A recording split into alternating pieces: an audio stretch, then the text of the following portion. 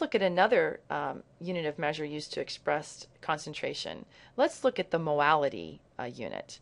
Molality is a good unit for reporting concentration because its value is not temperature dependent, like the molar concentration is.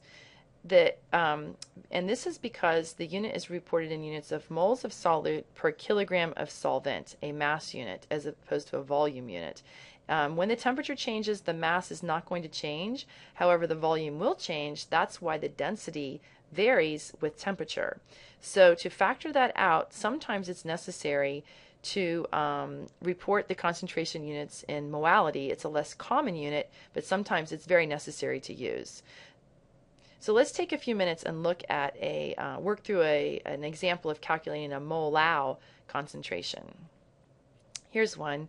Calculate the molality of zinc chloride in a solution prepared by dissolving 4.11 grams of zinc chloride in 150 grams of water. We'll approach this problem in a similar fashion that we did for the molarity problem, okay, for the molality problem.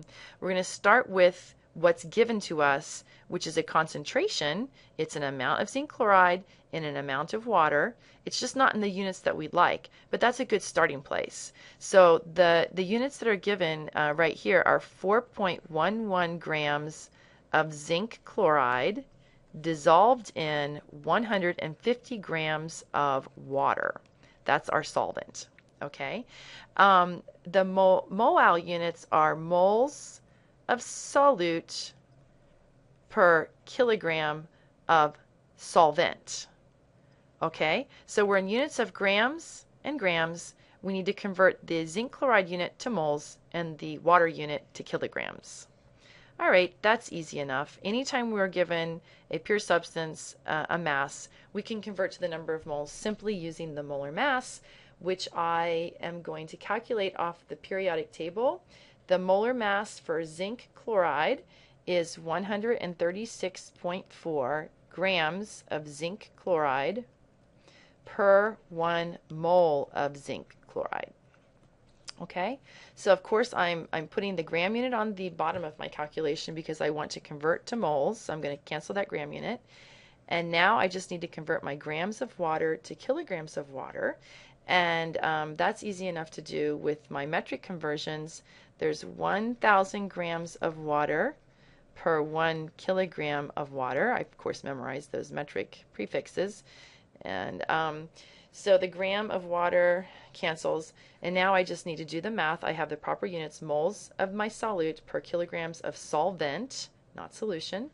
And I can uh, multiply 4.11 times 1,000 divided by 150 divided by 136.4 divided by 1, and that equals um, a molal concentration of 0.20 moles of zinc chloride per kilogram of water, which I would shorthand express as 0.2 lowercase m, which stands for molal. Now here I've got the same questions that I had in the previous video. What is the molality of the zinc ion? Well, if you look at your formula um, in zinc chloride, for every one formula unit of zinc chloride, I have one zinc ion. So the uh, molal concentration of zinc is going to be the same as what I calculated for the formula unit. Because think again, when I put this in solution, now this time, when I put the zinc chloride into the solution, I have a zinc ion floating around, and for every one zinc ion floating around, I'm going to end up with two chloride anions floating around, okay?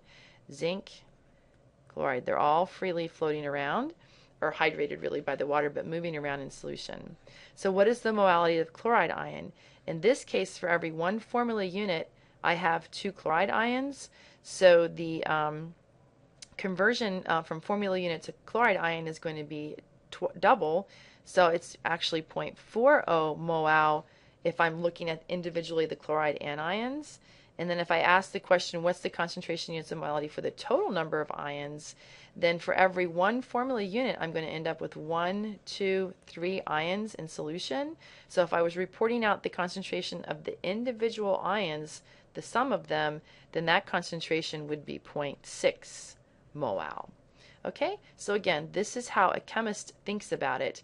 We report it normally in units of the formula unit of the substance or the uh, the molecular formula of the substance. In this case, they're formula units because they're ion, ionic compounds. So of course we always report it out like this. But if it dissolves completely, the as uh, the concentration is 0.20 molal, that's how we report it. But this is how the chemist thinks about that. I can separate that thought 0.2 molal into individual zinc ions, chloride ions, or the sum total of ions. Okay?